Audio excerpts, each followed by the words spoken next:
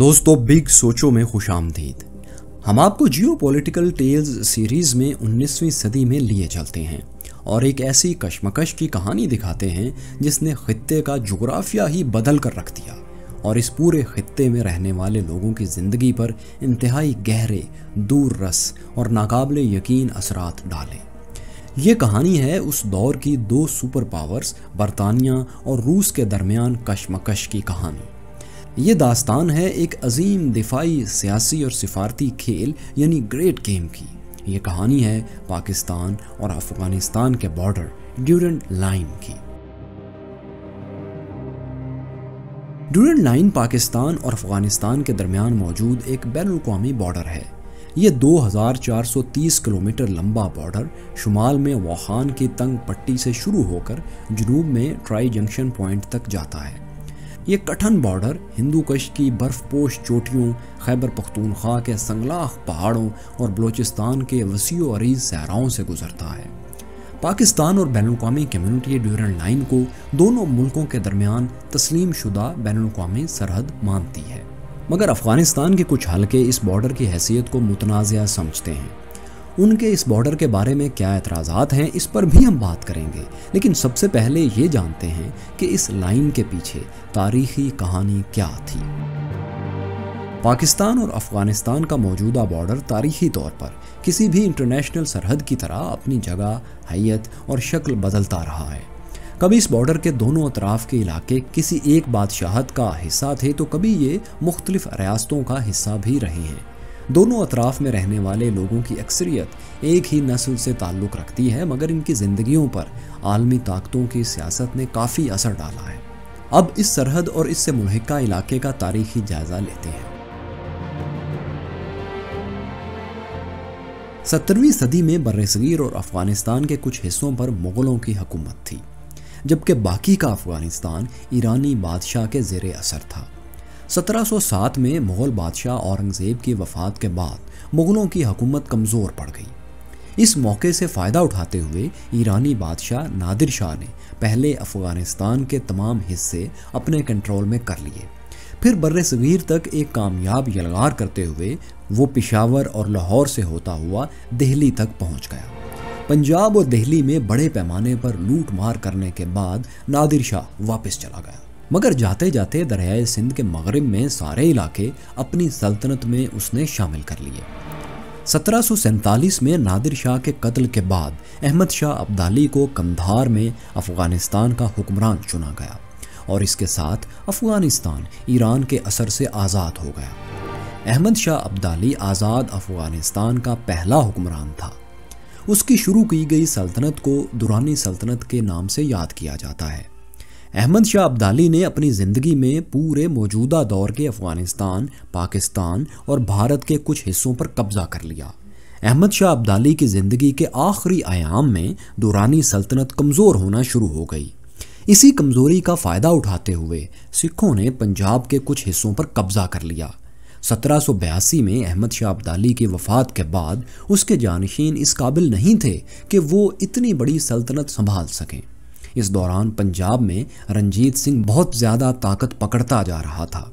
रंजीत सिंह की फौज ने दुरानी हुक्मरानों को शिकस्त देते हुए पहले 1818 में, फिर अठारह में पिशावर और खैबर पास तक का इलाका अपने कब्जे में ले लिया।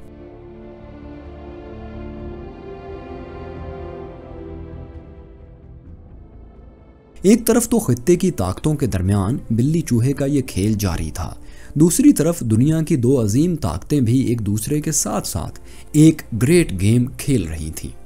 बरतानिया उस वक्त तक ईस्ट इंडिया कंपनी के ज़रिए बर सग़ीर में अपना वसी असर रसूख बना चुका था। बरतानिया रूस की सेंट्रल एशिया में बढ़ती हुई पेशकदमी से खौफजदा भी रहने लगा था, क्योंकि रूस सेंट्रल एशिया में एक एक करके तमाम रियासतों को अपने कंट्रोल में ला रहा था। बरतानिया को यह खौफ था कि रूस बिलाखिर बर सग़ीर तक पहुंचकर इसके सबसे कीमती ताज, यानी बर सग़ीर को ना छीन ले।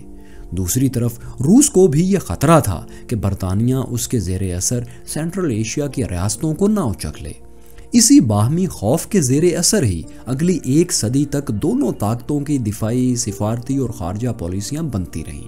और दोनों ताकतें एक दूसरे को नीचा दिखाने और मुख्तलिफ़ मुल्कों में अपना असर व रसूख बढ़ाने के लिए अपनी तमाम तर कुत लगाने लगी। तारीख में दोनों ताकतों के इस खेल को द ग्रेट गेम यानी अजीम खेल के नाम से याद किया जाता है। बरतानिया के लिए इस शतरंज के खेल में सबसे अहम प्यादा अफ़गानिस्तान था। और बरतानिया हर कीमत अफ़गानिस्तान को रूस के असर से आज़ाद रखना चाहता था। अठारह सौ सैंतीस में ईरान ने रूस की मदद से अफगान शहर हरात का मुहासरा कर लिया। बरतानिया अफ़गानिस्तान में रूस के इस जारहाना इकदाम से खौफजदा हो गया। बरसगीर में भारत के गवर्नर जनरल लॉर्ड ऑकलैंड ने अफगान बादशाह दोस्त मोहम्मद को पैगाम भिजवाया कि वो हरात को ईरान के कंट्रोल में जाने से रोकने के लिए हर मुमकिन इकदाम करे। दोस्त मोहम्मद एक नहायत जीरक लीडर था और अगरचे वो खुद भी यही चाहता था। मगर उसने बरतानवी लीडरशिप के अंदर रूस के मुतलिक पाए जाने वाले इस खौफ से फ़ायदा उठाने का फैसला किया। दोस्त मोहम्मद ने लॉर्ड ऑकलैंड को एक डील की पेशकश की। दोस्त मोहम्मद की ऑफ़र ये थी कि वो हैरात को पूरी तरह अपने कंट्रोल में लाएगा, मगर बरतानिया बदले में पिशावर और फ्रंटियर के इलाकों को सिखों से वापस लेने में अफगानों की मदद करेगा। याद रहे कि पिशावर और फ्रंटियर यानी मौजूदा खैबर पख्तूनख्वा के ये इलाके रंजीत सिंह ने अफगानों को शिकस्त देकर छीने थे और अफगान कोशिश के बावजूद सिखों से ये इलाके वापस नहीं ले सके थे। लॉर्ड ऑकलैंड सिखों को अपना मज़बूत इतिहादी समझता था। चुनाचे लॉर्ड ऑकलैंड ने दोस्त मोहम्मद की यह ऑफ़र ठुकरा दी और मामला अपने हाथ में लेने का फैसला किया। हेरात चूँकि अफ़गानिस्तान के शुमाल मगरब में वाक़ था और वहाँ तक पहुँचने के लिए बरतानवी फ़ौज को पूरे अफ़गानिस्तान से गुजरना पड़ता था, जो कि अमली तौर पर एक मुश्किल काम था। इसलिए बरतानिया ने खलीज फ़ारस में बहरी जहाज़ भिजवा कर फ़ारस के जजीरे खरग पर कब्ज़ा कर लिया। बरतानिया ने ईरान को पेशकश की कि अगर वो हरात का मुहासरा छोड़ दे तो उसको जजीरा वापस मिल सकता है। बरतानवी दबाव में ईरानी बादशाह ने यह पेशकश कबूल कर ली और हेरात का मुहासरा छोड़ दिया। यूँ अफ़गानिस्तान का रूस के जेर असर आने का ख़तरा वक्ती तौर पर टल गया। लॉर्ड ऑकलैंड अलबत् इस पूरे वाक़े में दोस्त मोहम्मद के किरदार से बहुत मायूस हुआ और इसे तब्दील करने का फ़ैसला कर लिया। इसी वजह से पहली एंग्लो अफगान जंग हुई बरतानिया, पंजाब के महाराजा रंजीत सिंह और सबक अफगान बादशाह शाह शुजा ने एक सह अफ्रीकी माहदे के तहत अफ़गानिस्तान पर हमला कर दिया और अफ़गान अमीर दोस्त मोहम्मद को हटाकर शाह शुजा को नया अफ़गान अमीर मुकर कर दिया। बरतानिया ने कब्ज़े के बाद शाह शुजा की मदद के लिए थोड़ी सी फ़ौज काबुल में ही रखी, जबकि बाकी फ़ौज वापस इंडिया बुला ली गई। बरतानिया के इन इंतज़ाम से अफगान अवाम बहुत नाखुश थे और मुल्क में एक अदम इतमान की सी कैफियत थी। 1841 में 1841 में अफगानों ने मौका देखते हुए बगावत कर दी और अफ़गानिस्तान में मौजूद बरतानवी नुमाइंदों और फ़ौज का कत्लेआम शुरू कर दिया और बरतानिया को अफ़गानिस्तान से निकाल बाहर किया। इस तरह अफ़गानिस्तान पर कंट्रोल हासिल करने की पहली बरतानवी कोशिश का खात्मा हुआ। 1843-1843 में अमीर दोस्त मोहम्मद एक बार फिर काबुल वापस आ गया और अफगान अमीर के तौर पर चार्ज संभाल लिया। 1848 में अंग्रेज़ों ने सिखों को शिकस्त देकर पंजाब पर बरह रास्त मुकम्मल कब्जा कर लिया और पंजाब को ब्रिटिश इंडिया का एक सूबा बना दिया गया, जिससे मौजूदा खैबर और फ्रंटियर यानी मौजूदा खैबर पख्तूनख्वा का इलाका भी सिखों से निकलकर अंग्रेज़ों के कब्ज़े में आ गया। यूँ अफ़गानिस्तान, ब्रिटिश इंडिया का बाकायदा हमसाया बन गया और दरमियान में जो पंजाब की रियासत थी, वो ख़त्म हो गई। 1855 में एक दफ़ा फिर ईरान ने रूस की मुकम्मल खुली मदद से हेरात और कंधार पर कब्ज़ा कर लिया। दोस्त मोहम्मद ख़ान को अपने दो अहम शहरों को दोबारा हासिल करने के लिए बरतानवी फ़ौज की मदद दरकार थी। अंग्रेज़ तो इस मौके की तलाश में थे इसके नतीजे में अंग्रेज़ों ने 30 मार्च 1855 को माहदा पिशावर साइन किया। माहदे से अफ़गानिस्तान और बरतानवी हिंद के दरमियान सिफारती ताल्लुक बहाल हो गए। इस माहदे में पहली दफ़ा अफ़गानों ने पिशावर और मौजूदा खैबर पख्तूनख्वा के इलाकों को ब्रिटिश इंडिया का हिस्सा तस्लीम कर लिया। अठारह में अफ़गानों ने अंग्रेज़ों की मदद से मिलाखिर हरात का कंट्रोल वापस ले लिया। अठारह में दोस्त मोहम्मद की वफ़ात के बाद उसका बेटा शेर अली काबुल के तख्त पर कब्ज़ा करने में कामयाब हुआ। शेर अली अंग्रेज़ों के काफ़ी खिलाफ था और उसका झुकाव रूस की तरफ़ ज़रा ज़्यादा था।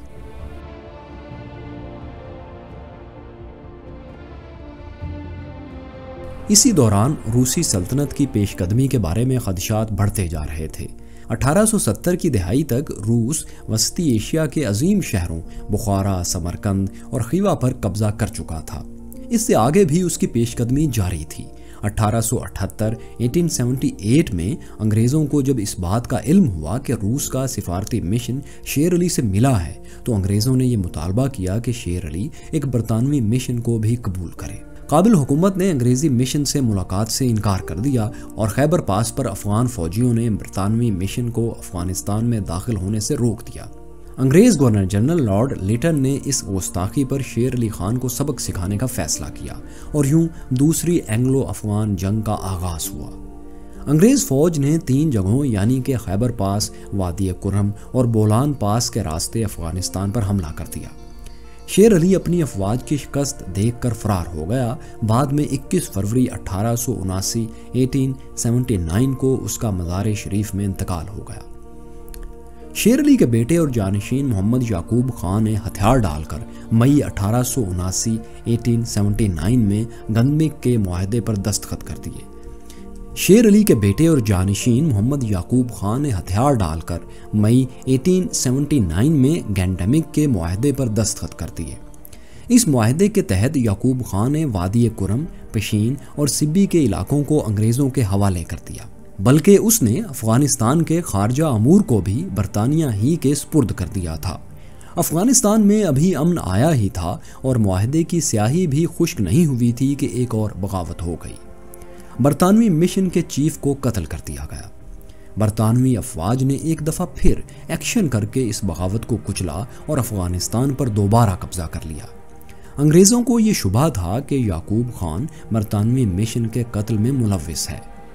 इसलिए याकूब खान को अहदे से माजूल करके हिंदुस्तान में जिला वतन कर दिया गया।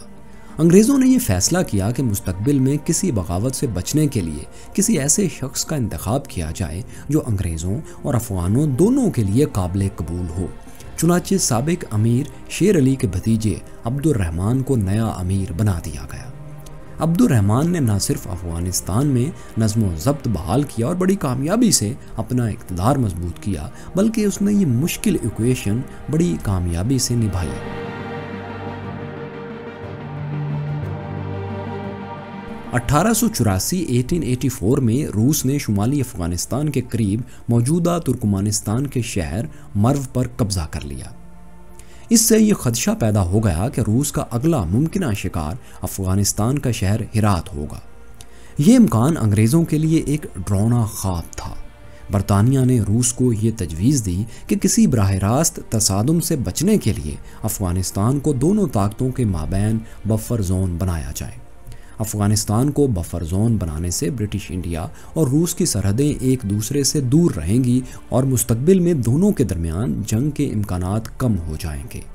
रूस ने बरतानिया की इस तजवीज़ से इतफाक़ किया, मगर अफ़गानिस्तान की वाज सरहदों के तयन के बगैर अफ़गानिस्तान को बफर स्टेट बनाना मुश्किल था।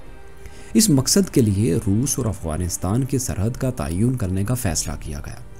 इस बॉर्डर की हदबंदी के लिए अठारह 1884 में एंग्लो रशियन बाउंड्री कमीशन बनाया गया। इस कमीशन में रूस और बरतानिया के नुमाइंदे मौजूद थे। इस सरहद के तयन में अफगानों का कोई हकीकी अमल दखल भी नहीं था। तीन साल के अरसे में ये काम मुकम्मल हो गया। रूस अफगान बाउंड्री के तयन के बाद ब्रिटिश इंडिया और अफ़गानिस्तान के माबैन सरहदों के तस्वीर की राह हमवार हो गई। अमीर अब्दुलरहमान ने ब्रिटिश इंडियन हुकूमत को ख़त लिखा और कुछ एहलकारों को काबुल भेजने की बाबा दरख्वास्त की ताकि ब्रिटिश इंडिया और अफ़गानिस्तान की सरहद का भी तयन किया जा सके।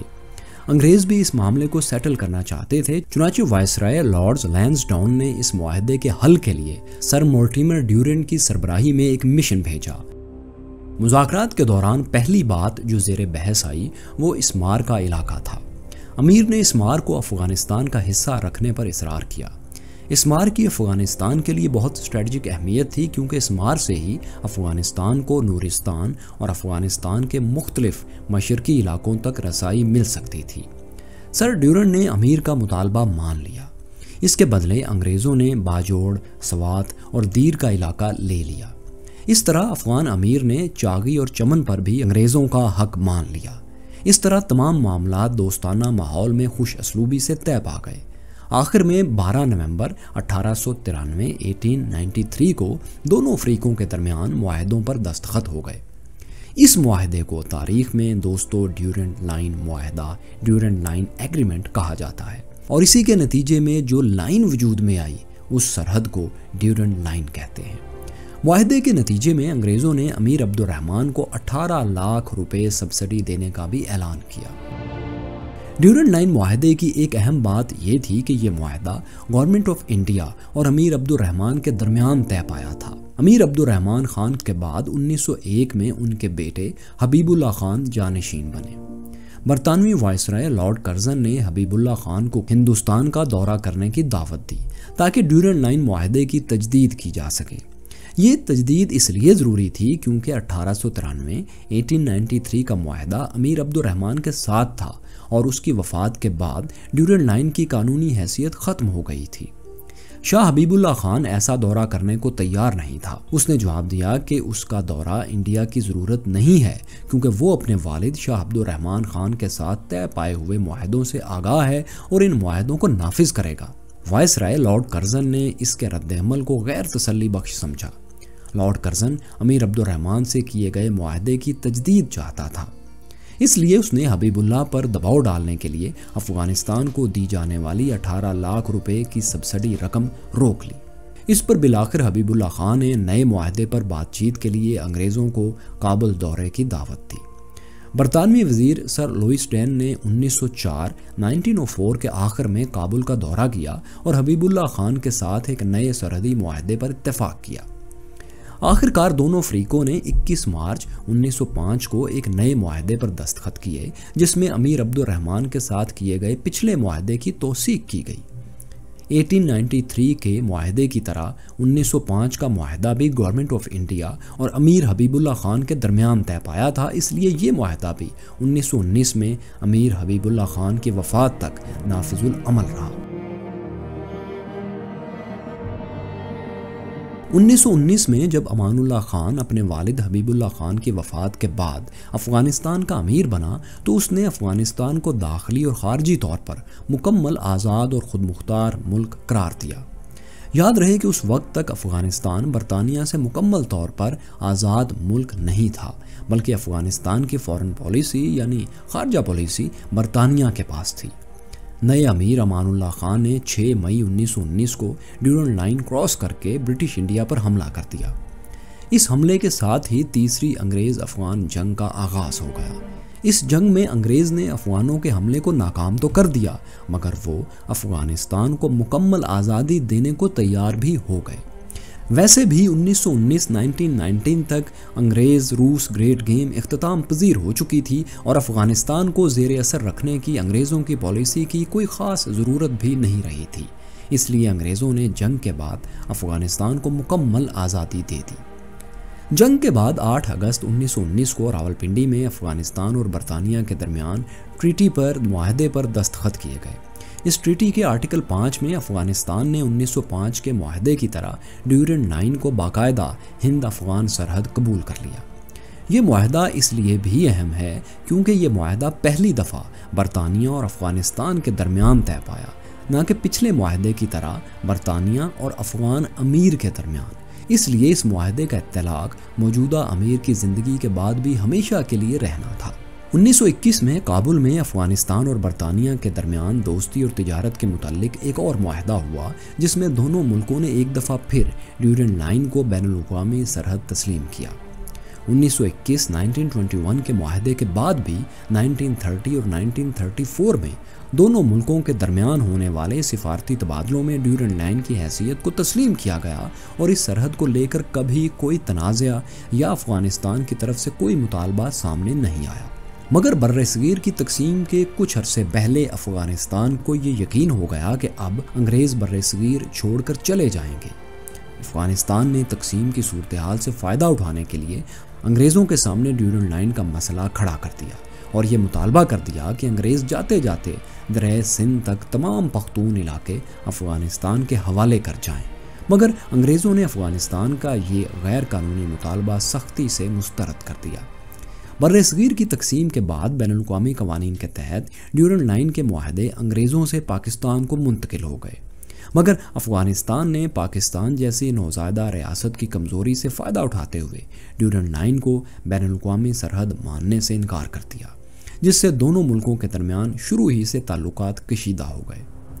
ड्यूरल लाइन की ही वजह से अफ़गानिस्तान वो वाद मुल्क था जिसने अकवा मतहदा में पाकिस्तान की शमूलियत के ख़िलाफ़ वोट दिया था। बैन अवी बरदरी, यानी बरतानिया, अमेरिका वगैरह ने ड्यूरल लाइन के मामले पर अफ़गानिस्तान के मौक़ को कोई अहमियत नहीं दी। इसलिए अफ़गानिस्तान ने पाकिस्तान के कबायली इलाकों में शोरिश की कोशिश भी की और पख्तूनख्वा का मसला भी खड़ा किया। इससे दोनों मुल्कों के ताल्लुक मज़ीद बिगड़ गए। पचहत्तर साल का अरसा गुजरने के बावजूद अफ़गानिस्तान ने पाक अफ़गान सरहद ड्यूरन लाइन को कभी तस्लीम नहीं किया। अफ़गानिस्तान के ड्यूरन लाइन के हवाले से क्या एतराज़ात हैं और पाकिस्तान इन एतराज़ात का क्या जवाब देता है? इस बारे में हम आपको जियो टेल की अगली किस्त में दिखाएँगे। ये वीडियो देखने के लिए आपका शुक्रिया। ड्यूरन लाइन के बारे में आप इससे पहले क्या जानते थे और अब आपकी मालूम में क्या इजाफा हुआ? हमें कमेंट्स में ज़रूर बताइएगा। शुक्रिया।